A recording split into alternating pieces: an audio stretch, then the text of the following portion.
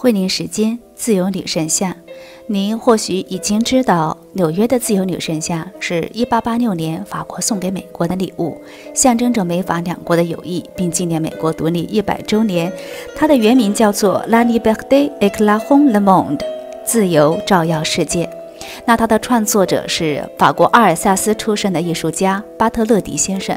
现在在巴黎还有两尊自由女神像，是巴特勒迪先生当年创作的。一尊呢被保存在巴黎三区的工艺品艺术博物馆，另外一尊就是我们眼前这一个，保存在巴黎的奥赛博物馆。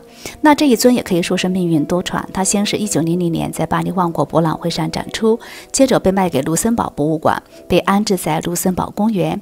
然后在有一年的秋天呢，自由女神的火炬不翼而飞了。于是出于保护艺术品的考量。法国参议院决定把这件作品修复之后保存在了奥赛博物馆。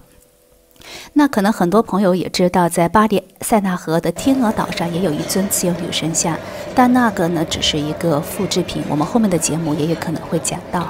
惠宁时间，法国巴黎。